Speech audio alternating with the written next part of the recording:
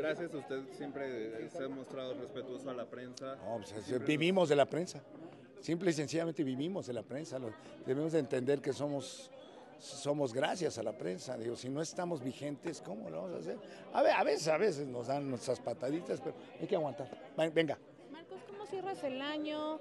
Este, ¿Qué proyectos tienes? ¿Cómo, ¿Cómo viene también este 2025? ¿Qué es lo que estás haciendo? Muy bien, fíjate que acabo de terminar una película que se llama El Virus, donde soy un doctor que me ataca el COVID-19 y muero. Muere mi esposa. Eh, esa, esa lucha tremenda que tuvimos en el 2020, que lo recordamos todos eh, la película está muy difícil, muy dura. Eh, cierro con esa. Elegidos, que es una obra de teatro maravillosa, donde es como la película Los Otros de Nicole Kidman, ¿te acuerdas? Que ella estaba arriba, creía que estaba viva y están muertos. Esta, esta es una reflexión para los jóvenes que se dedican a tomar y que tienen accidentes, llegan al purgatorio y yo los recibo y si ellos se arrepienten pueden regresar, porque hay unos que están en coma, pero otros van en camino al crematorio. Entonces está tremenda la obra de teatro. Por otro lado, cierro, cierro trabajando en Las Delicias y en diferentes bares en Estados Unidos y en México con el homenaje a los Valdés. Híjole, trabajando muchísimo. Ese homenaje a don Germán, a don Manuel y a don Ramón y hasta a mi hermano Cristian. Estoy muy contento, muy contento trabajando. No he parado todo este año. Abro una nueva escuela de actuación, expresión corporal, dicción, manejo de escenario, trazo escénico y oratoria. Muy contento, muy feliz. Estoy viajando mucho a Estados Unidos porque tengo una sucursal en Estados Unidos y otra aquí en la Ciudad de México. Señor, y hablando del homenaje, Cristian, su hermano, ya pudo ver lo que hace para él. ¿Lo que qué? Lo que hace para él, el homenaje que le hace a Cristian. Pues yo creo que por medio de las redes sí, ¿no? Porque digo, si, te, si necesitas fotografías te mando, la verdad es que me parezco muchísimo a mi papá y, a la hora que hago a mi papá, ya me viste haciendo a mi papá, no, no, no, no, es verdaderamente increíble, me tatuó. Cuando de repente me hago con los amigos, no, no, no, mucho, me parezco mucho, mira, con la peluca más. Entonces es, es, increíble.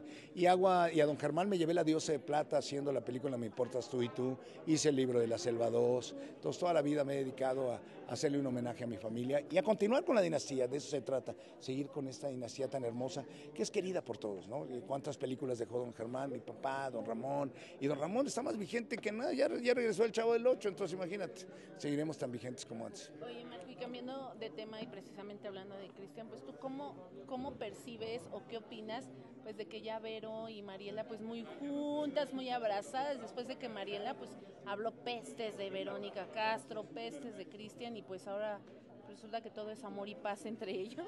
Bueno, lo que pasa es que lo que busca Mariela y lo que busca Verónica es la felicidad de la felicidad de Cristian, eh, Los dimes y diretes entre las, entre las suegras y las mamás la suegra y la, novia, pues siempre es un poquito difícil al principio. Había que conocerse un poquito mejor. Eh, creo que a Cristian le, gusta mucho Mariela, porque le debe de gustar mucho. Eh, solo él entiende el por qué le gusta tanto y hay que respetarlo. Y creo que Verónica está haciendo un gran esfuerzo en que su hijo sea feliz. A lo mejor la chava se arrepintió en serio. Hay que, siempre hay que darle oportunidad a la gente de una segunda, hay buscar una segunda oportunidad. A lo mejor Mariela tiene buena fe y a lo mejor Cristian hace buena chamba, entonces la cosa está bien. Y sabes que a mi hermano no le gusta estar solo, le gusta tener una compañía y a lo mejor la chava es buena onda con él.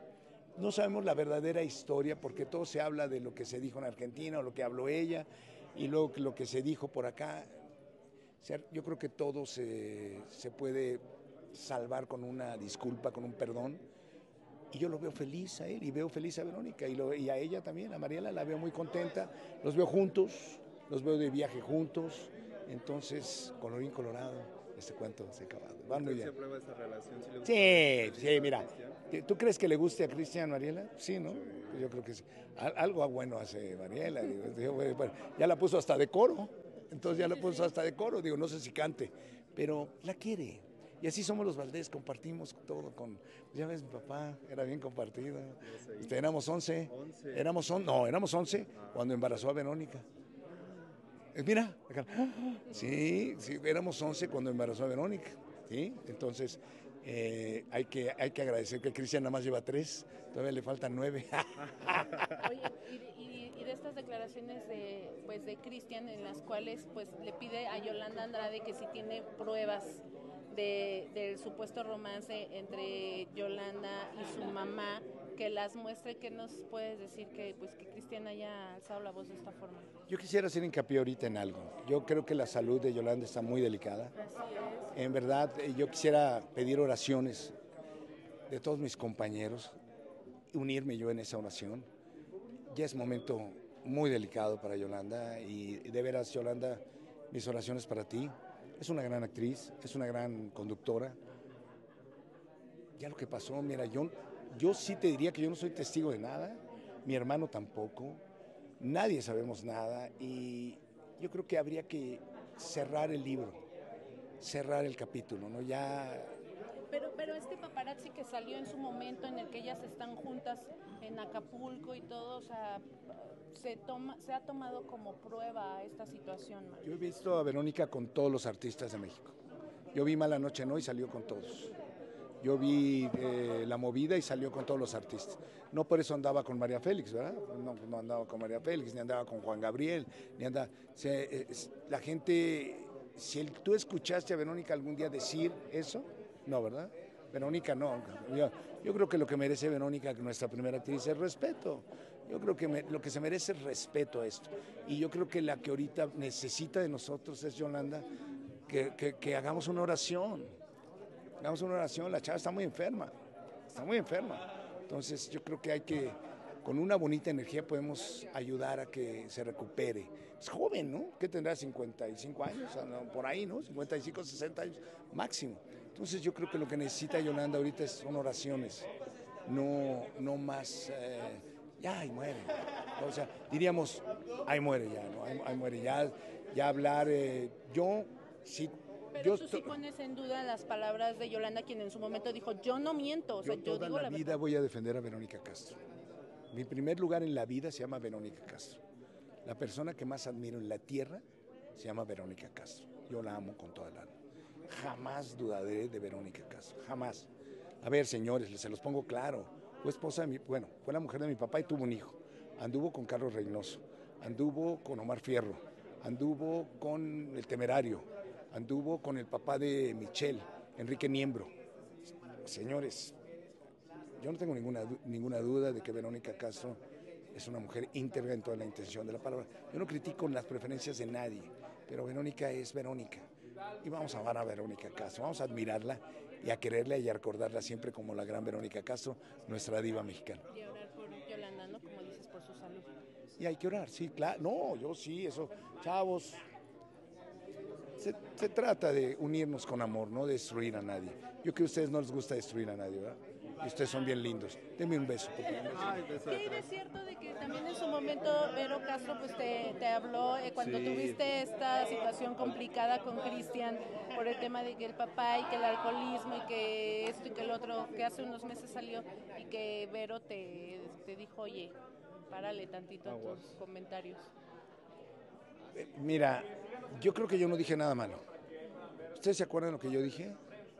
Yo nada más pedí que no dijera que mi papá era alcohólico, que mi papá era drogadicto. ¿Es delicado eso?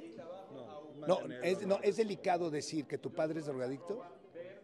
es delicado que es delicado que tú digas que una figura que ya está muerto, que ha sido una figura muy importante para México, decir que es drogadicto es malo. Claro, o sea, no puedes hablar de tu padre así, y menos está muerto. Verónica no, no, Verónica fue muy... Verónica se, se mantuvo al margen. ¿No te buscó para...?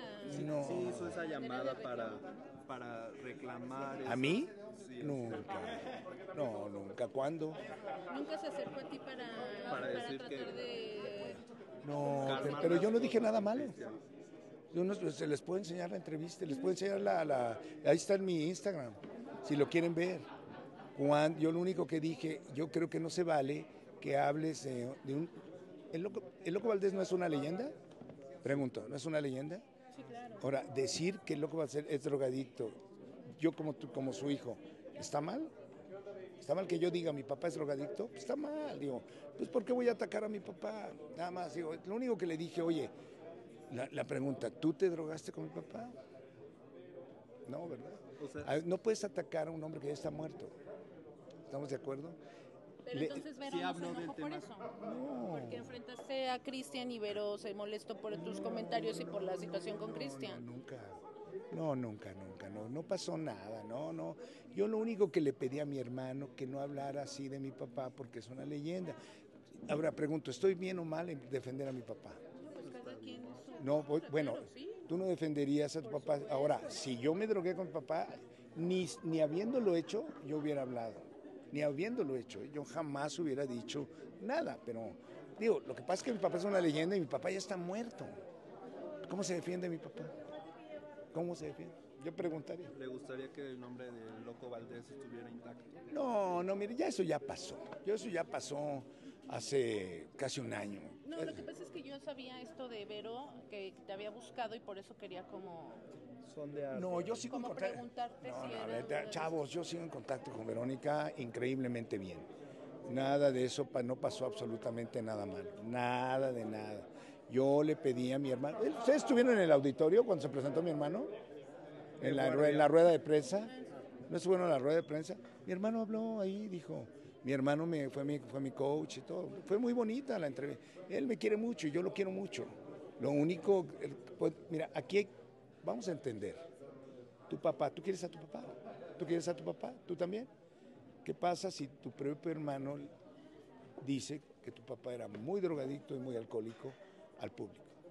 ¿Te dolería? Pues te duele, eso fue todo. Me dolió y dije, oye, ya no vive tu viejo si ya estuviera, si oye, yo creo que merece respeto un hombre que ha sido una leyenda, porque además el de Argentina le dijo, oye, pero tu papá era una leyenda, pero muy drogadito. bueno, mira, yo adoro a mi hermano y es Cristian Castro y lo seguiré amando siempre. Diga lo que diga, lo adoraré toda mi vida. Muchas gracias. De nada.